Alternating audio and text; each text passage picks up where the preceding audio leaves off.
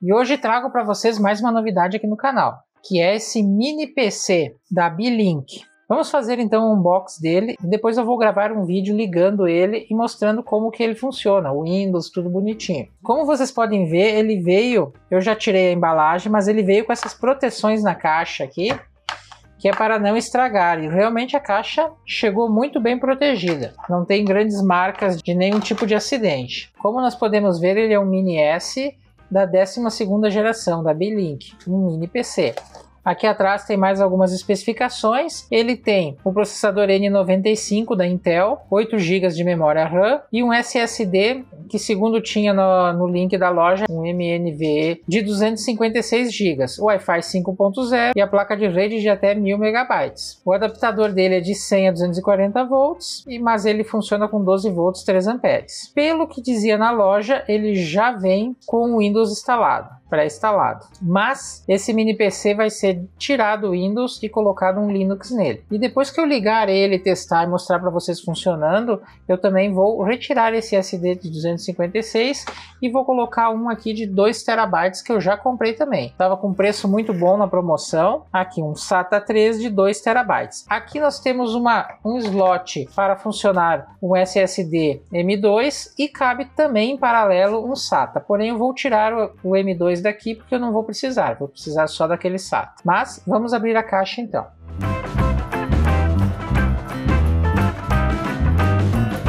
Vem bem protegido. Aqui tem um manual que não vai ter português, mas tem italiano, espanhol, inglês, japonês. Também é algo bem simples e que dificilmente nós vamos usar. Aqui nós temos uma caixa com acessórios. Vamos ver o que, que vem. Então, vem um cabo HDMI, tem a fonte, Vamos ver se é realmente é. Ela é bivolt de 100 a 240 volts. Ali é para vocês verem melhor. Tem um segundo cabo HDMI bem curtinho, diga-se de passagem. Ele tem duas saídas HDMI, pelo que eu vi. Uma chapinha para prender, caso vocês queiram prender atrás do monitor já. Ele fica um mini PC, você pode usar um teclado e um mouse sem fio, ele nem aparece. Achei bem bacana. Os parafusos tanto para prender atrás, como provavelmente para prender o SSD.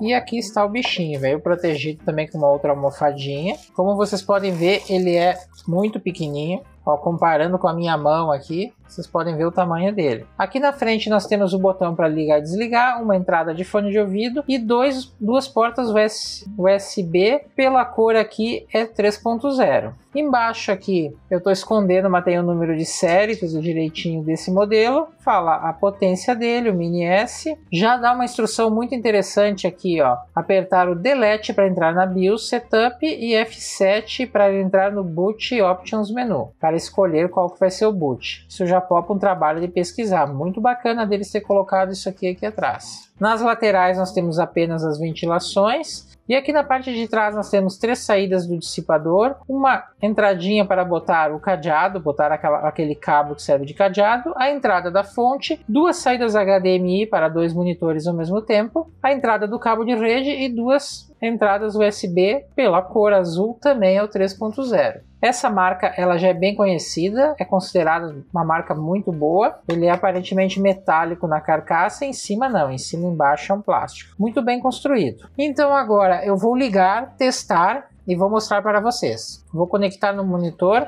Também já ter comprado para ele um teclado bem baratinho aqui, bem simples, e um mouse que também é com fio, bem simples. O objetivo desse aparelho aqui, ele vai ficar de servidor, só guardando dados, então não vai precisar mais teclado e mouse, vai ser só para eventuais manutenções. O resto ele vai funcionar só online. Vamos ligar ele então. Agora vamos ligar o mini PC. Vou fazer isso ao vivo com vocês. Vamos descobrir se ele funciona ou não. Eu fiz uma enjambração aqui com o monitor, os fios não se assustem com a bagunça. Mas vamos lá. Bem, vamos agora para ligar o mini PC. Eu fiz uma enjambração aqui usando um monitor. Eu já conectei um mouse, um, um teclado. Vou deixar ele meio atravessado aqui, tem fio para todo que é lado. Conectei ele no monitor. Era o segundo monitor do meu notebook aqui. Vamos ligar o PC então. A luzinha acendeu, ele não deu sinal nenhum no monitor ainda. Opa, agora sim. Ele está fazendo uma inicialização, é a primeira vez que a gente está ligando. Lembrando que depois eu já vou matar esse SSD e vou formatar ele vou deixar sem o Windows. Pelo que eu vi na etiqueta que veio em cima dele, ela já fala que durante o, a inicialização, se eu não tenho uma conta do Windows válida com licença, eu tenho que desativar o Wi-Fi e a placa de rede e fazer uma inicialização local para ele funcionar. Então aí está. Ele começa aqui pedindo o idioma e meus amigos, nós não temos o português aqui, mas tudo bem. O mouse também está funcionando, aqui ele vai pedir o país, a região também. Vamos ver se pelo menos o Brasil ele tem. Bom, eu vou fazer as, as configurações iniciais e eu já volto para mostrar a performance e os dados técnicos dele. Um minutinho. Pronto, parece que entramos aqui no Windows. Teria que baixar a versão em português, mas eu não vou fazer isso. Como eu disse, eu vou desinstalar e colocar o Linux nele. Vamos dar uma entrada nas configurações para dar uma olhada. Então aqui ele mostra o Intel N95, como foi falado, de 1,7 MHz, 8 GB de memória RAM. Ele vem com o Windows 11 Pro instalado, mas ele não está ativado.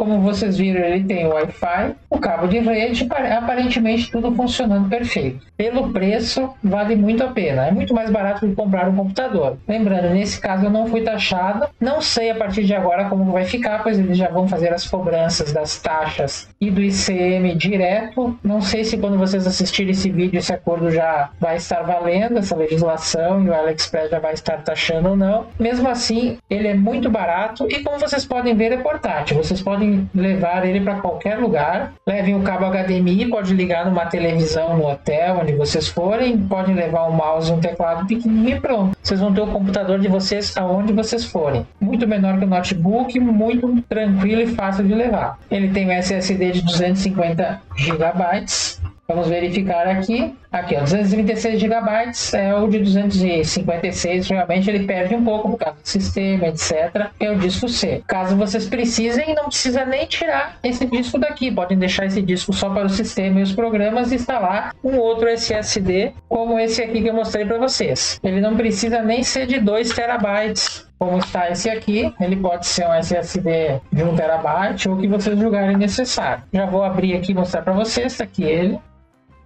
Então era isso aí.